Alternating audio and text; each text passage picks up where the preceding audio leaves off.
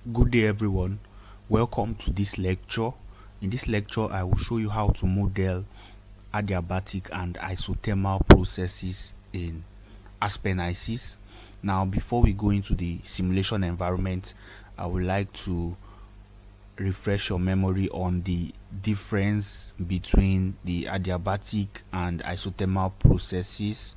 So for isothermal processes what you have is that the temperature across the system is constant throughout so there is no temperature change while for the adiabatic process you have um, you have that the there is no heat exchange or there is no heat flow in and out of the system right? So there is no heat interaction between the system and the environment right? So that's basically the difference between the isothermal and then the adiabatic process right? Then also for the isothermal process uh, temperature change in temperature which is dt is equal to zero while um, dq is not equal to zero which is the change in heat flow is not equal to zero while for the adiabatic process the change in heat flow is um, zero. Yes dq is equal to zero while the change in temperature which is dt is not equal to zero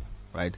Then for isothermal processes they majorly occur um, slowly while the adiabatic processes may occur faster right? So these are the basic differences between the adiabatic and the isothermal processes. Now for the illustration in this particular tutorial we'll be making use of the model we did uh, in a previous tutorial right? In a previous tutorial which um, involved kinetic um, modeling. So we'll be using that for this illustration. So on the left on the left we have um, adiabatic uh, models and on the right we have isothermal models. Now i'll i'll be illustrating i'll be illustrating the difference right? Yes. So um, for the adiabatic you have that um,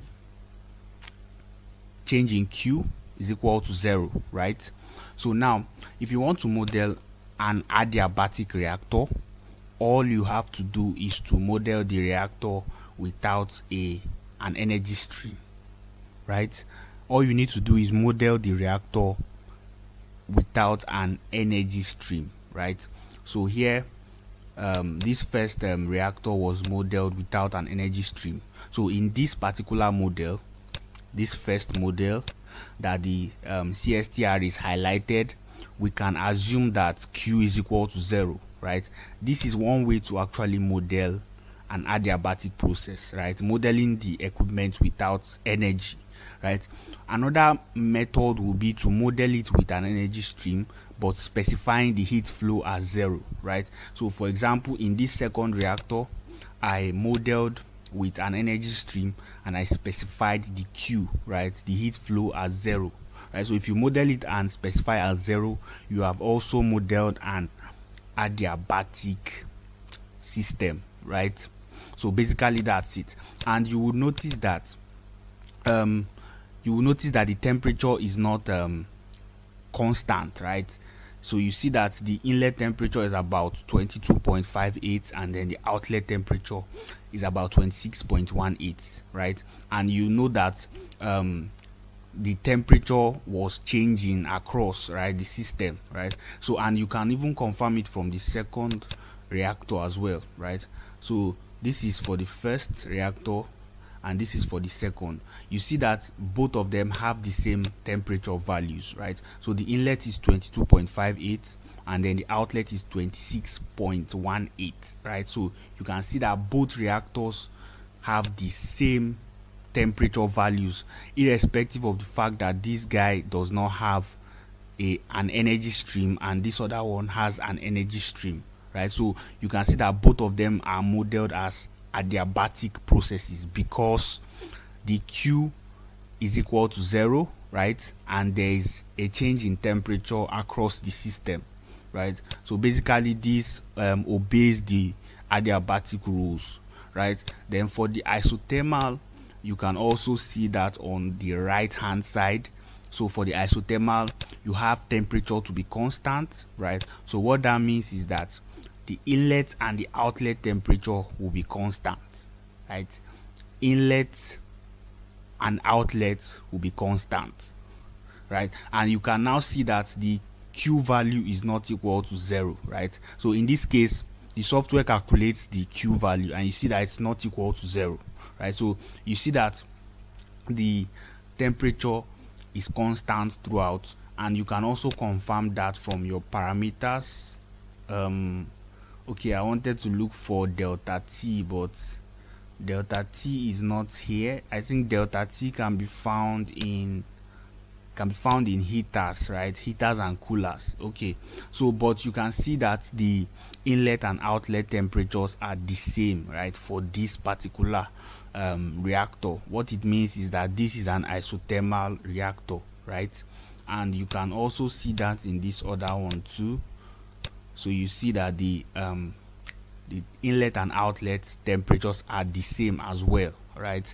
And you also see that the heat flow is not equal to zero right? So when you specify temperature Hysys calculates heat flow. And when you spe specify heat flow Hysys calculates temperature right? So if you want to model an isothermal process all you need to do is you need to add your energy stream right attach an energy stream to the equipment whether it's a reactor or a separator or any other thing you are trying to model just add your energy stream and then specify the temperature of the outlet right? You specify the temperature of the outlet to be the same as the temperature of the inlet. And with that you specify your um, equipment as an isothermal um, equipment right? Yeah. So then also if you want to specify for an adiabatic process you can either model the process without an energy stream or you add an energy stream and you specify the heat flow as zero right? So when you specify it as zero you have modeled an adiabatic system or when you model it without when you model without your um, energy stream you have also modeled an adiabatic system.